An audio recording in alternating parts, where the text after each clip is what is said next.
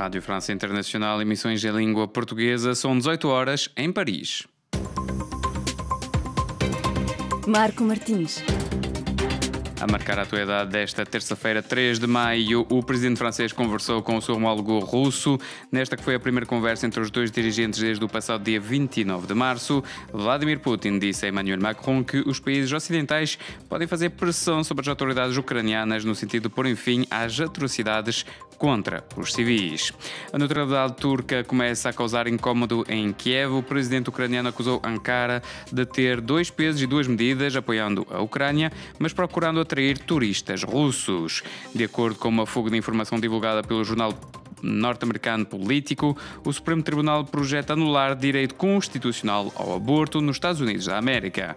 Estes e outros títulos a desenvolver já a seguir o bloco informativo sob o comando técnico de Yann Bordelas. O jornal começa agora. Começamos com a atualidade internacional em torno da Ucrânia. O presidente francês conversou hoje telefonicamente com o seu homólogo russo, nesta que foi a primeira conversa entre os dois dirigentes desde o passado dia 29 de março. Vladimir Putin disse a Emmanuel Macron que os países ocidentais podem fazer pressão sobre as autoridades ucranianas no sentido de pôr fim às atrocidades contra os civis. Mais nós com Liliana Henriques. De acordo com Putin, o Ocidente pode desempenhar um papel para a Ucrânia pôr fim aos crimes de guerra e aos bombardeamentos massivos nas cidades do Donbass, zona do leste do país controlada pelas forças pró-russas.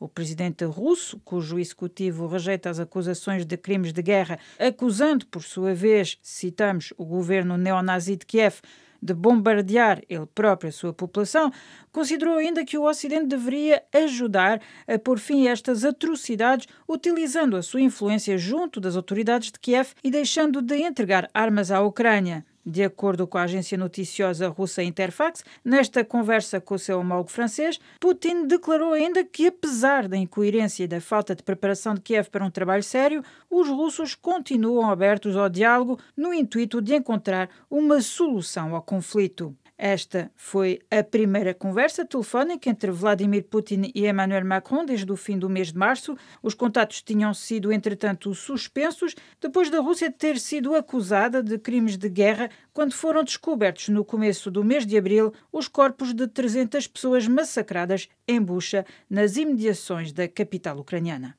A neutralidade turca começa a causar incômodo em Kiev. O presidente ucraniano acusa Ankara de ter dois pesos e duas medidas apoiando a Ucrânia, mas procurando atrair turistas russos. Mais de 100 mil russos já se estabeleceram na Turquia desde o início do conflito. O relato é do nosso correspondente José Pedro Tavares.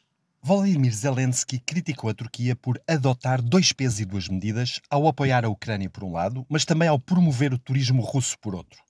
De facto, a posição de neutralidade ativa que o presidente turco Recep Tayyip Erdogan promove desde o início do conflito, por um lado condenando de forma inequívoca a invasão russa, defendendo a integridade territorial da Ucrânia e até apoiando este país com armas, incluindo os seus famosos drones Bayraktar, que tanta destruição têm causado nas forças russas, mas por outro não impondo quaisquer sanções a Moscovo e mantendo uma ponta aérea com aquele país, representa um equilíbrio difícil. Erdogan tem mantido que tal é absolutamente necessário para manter canais de comunicação abertos com as duas partes e assim promover uma solução diplomática para o conflito. Mas é inegável que, não impondo sanções a Moscou, a Turquia está também a beneficiar da situação. Esta semana, as autoridades turcas confirmaram que estão à espera de receber entre 2 milhões e meio e 3 milhões de turistas russos este verão. A Turquia é um dos poucos países europeus por onde os russos podem voar livremente sem restrições. A principal companhia aérea turca, a Turkish Airlines, revelou que vai, aliás, aumentar a oferta para a Rússia e chegará às 300 ligações aéreas semanais entre os dois países. Desde o princípio do conflito, que pelo menos 100 mil russos já se estabeleceram na Turquia, fugindo à escassez de bens no seu país e à possibilidade de uma mobilização geral, muitos procurando casa na Turquia, o que fez disparar os preços do setor imobiliário, sobretudo em Istambul e na costa mediterrânica turca. Segundo alguns representantes do setor, os russos e ucranianos representam hoje cerca de 70% da procura nas últimas semanas e, em algumas regiões, os preços das casas ou das rendas aumentaram mais de 300%. José P. Tavares, RFI, em Ankara.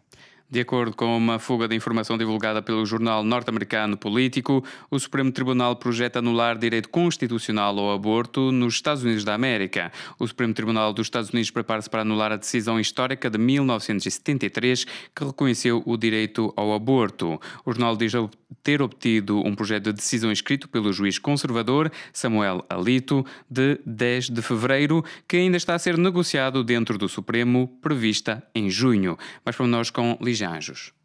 Esta é uma decisão sem precedentes na história moderna do Supremo Tribunal norte-americano que aponta a possibilidade de retirar a proteção constitucional ao direito ao aborto. O processo Roe Wade sustentou que a Constituição norte-americana protegesse o direito da mulher a fazer um aborto. Era totalmente sem mérito desde o início, escreveu o juiz do Supremo Tribunal num documento obtido e citado pelo jornal Político. Acreditamos que Roe Wade deve ser derrubado, acrescenta ao juiz, para quem o direito ao aborto não está protegido por qualquer disposição da Constituição norte-americana. Se esta ideia for defendida por todos os juízes do Supremo Tribunal, os Estados Unidos retrocedem à situação que existia antes de 73, quando cada Estado era livre de proibir ou autorizar o aborto. O Supremo Tribunal foi revisto pelo antigo presidente norte-americano em cinco anos. Donald Trump nomeou três juízes conservadores, consolidando uma maioria conservadora nesta instância norte-americana. Praia 99.3 FM Continuamos com a atualidade no continente africano. Foi publicado esta segunda o relato da organização Repórteres Sem Fronteiras. O documento indica que a polarização duplicou e foi amplificada pelo caos na informação. Cabo Verde ocupa a melhor posição no que refere à África lusófona.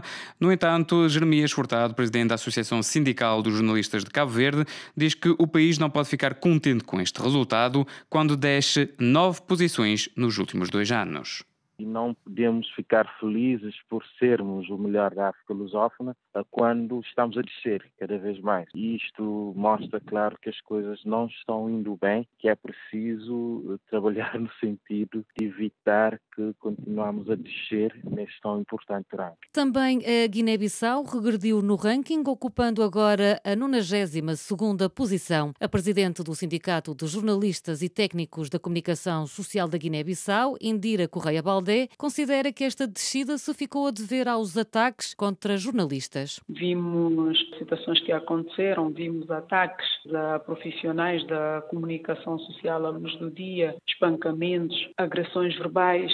São várias as situações que têm acontecido que fez com que a Guiné-Bissau tenha estado a regredir no ranking da liberdade de imprensa e de expressão. Em Angola, as condições de trabalho continuam a ser complicadas, reconhece a Presidente da Comissão da Carteira e ética dos jornalistas, Luísa Rogério lembra que, ainda assim, Angola subiu quatro posições no ranking. Continuamos realmente com uma situação difícil em relação às condições de trabalho e ao próprio quadro geral, não é? Que permitem aferir que ainda não estamos no nível de liberdade de imprensa desejado. Apesar de termos subido quatro lugares relativamente ao ano passado. Moçambique está entre os países que vivem uma situação mais problemática, ocupando o lugar 116 e é também o pior classificado na África lusófona. Fernando Lima, jornalista moçambicano, reconhece a degradação da liberdade de imprensa no país. Penso que se deve à degradação do clima de liberdade de imprensa em Moçambique. A nossa legislação é muito positiva, mas há uma ameaça sobre essa mesma legislação para